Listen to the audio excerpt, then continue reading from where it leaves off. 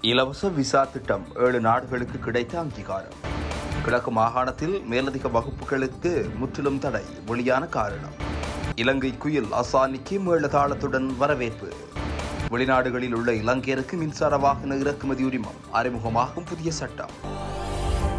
India சீனா Russia Malaysia Japan Indonesia மற்றும் Thailand ஆகிய நாடுகளின் சுற்றுலா பயணிகள் இலங்கை வருவதற்கான இலவச விசா வழங்கும் திட்டத்திற்கு அமைச்சரவை ஒப்புதல் அளித்துள்ளதாக தெரிவிக்கப்பட்டுள்ளது. குறித்த திட்டமானது இரண்டாயிரத்தி இருபத்தி நான்கு மார்ச் வரை நடைமுறையில் இருக்கும் என குறிப்பிடப்பட்டுள்ளது. இந்த விடயத்தினை சுற்றுலாத்துறை அமைச்சர் ஹெரின் பெர்னாண்டோ தனது உத்தியோகபூர்வ எக்ஸ் பக்கத்தில் பதிவிட்டுள்ளார். கடந்த பதினெட்டாம் தேதி சீனா இந்தியா ரஷ்யா தாய்லாந்து மற்றும் இந்தோனேசியா ஆகிய ஐந்து நாடுகளுக்கு இலவசமாக விசா அனுமதிக்கான ஏற்பாடுகள் அனைத்தும் தயாராக உள்ளது. என்று சுற்றுலாத்துறை அமைச்சர் ஹெரின் பெர்னாண்டோ தனது உத்தியோகபூர்வ ட்விட்டர் பதிவில் குறிப்பிட்டுள்ளார்.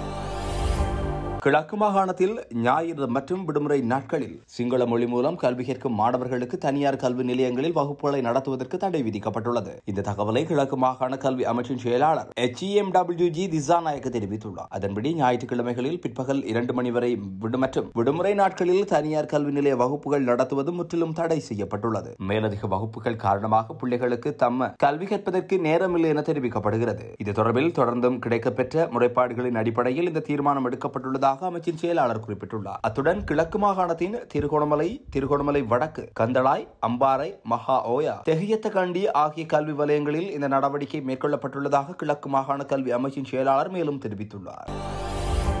இலங்கை சிறுமி அசானிக்கு கடலூர் கிராமத்தில் மிகவும் கோலாகலமாக மேளதாடத்துடன் வரவேற்பு கொடுக்கப்பட்டுள்ளது. மலேக குயில் அசானி தமிழகத்தில் நடைபெற்று வரும் சரிகமப இசை நிகழ்ச்சியில் பங்கு பற்றி தனது இசை திறமையை வெளிப்படுத்தி வருகின்றார். அவர் வெற்றி பெற வேண்டும் என்று இலங்கையர்கள் மட்டுமின்றி உலகிய வாழ் தமிழர்கள் அனைவரும் ஆதரவு கொடுத்து வருகின்றனர். இந்த நிலையில் அசானி தனது தந்தையுடன் கடலூர் கிராமத்திற்கு உறவினர்களை காண சென்றுள்ளதாக தெரிவிக்கப்பட்டுள்ளது. அங்கு அவருக்கு மேளதாளத்துடன் வரவேற்பு கொடுத்து கிராமத்தினர் கொண்டாடியுள்ளனர். இது தொடர்பில் புகைப்படங்கள் தற்பொழுது அதிகமாக இணையதளங்களை ஆக்கி ஆக்கிரமித்து வருகின்றது.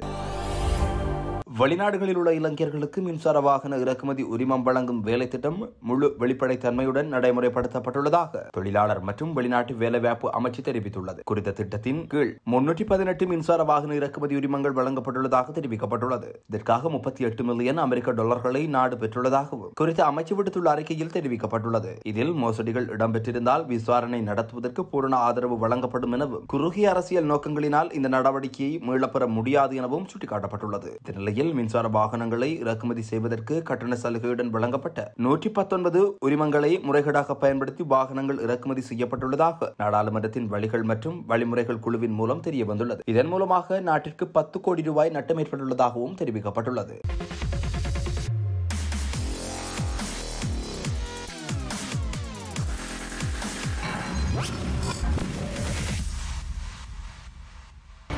இலவச விசா திட்டம் ஏழு நாடுகளுக்கு கிடைத்த அங்கீகாரம். கிழக்கு மாகாணத்தில் மேலதிக வகுப்புகளுக்கு முற்றிலும் தடை வெளியான காரணம். இலங்கை குயில் அசானிக்கு மேளதாளத்துடன் வரவேற்பு. வெளிநாடுகளில் உள்ள இலங்கையருக்கு மின்சார வாகன இறக்குமதி உரிமம் அறிமுகமாகும் புதிய சட்டம்.